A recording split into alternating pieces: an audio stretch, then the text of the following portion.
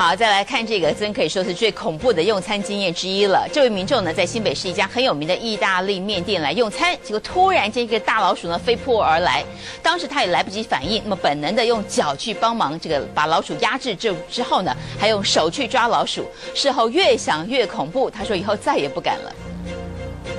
啊，其实老板养的啦，不小心跑出来。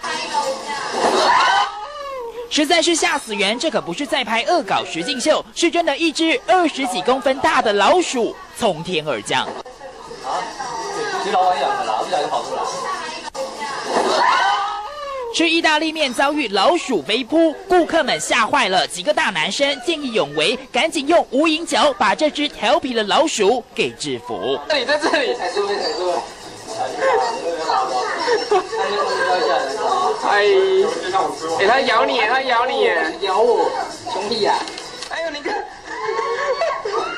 最后还得顾客帮忙抓住老鼠尾巴，结束这场惊魂记。嗯感觉很差，因为就觉得用餐环境不好啊，就不会想再去那一家了。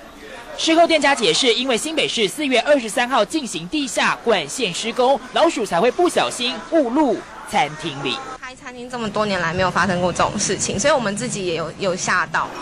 店家自知理亏，当天见鼠有份，顾客通通打九折，被老鼠跳上餐桌的这一群人全部免费，但再多补偿恐怕也不能平复消费者当下的震撼。这是郭向你讲新北市采访报道。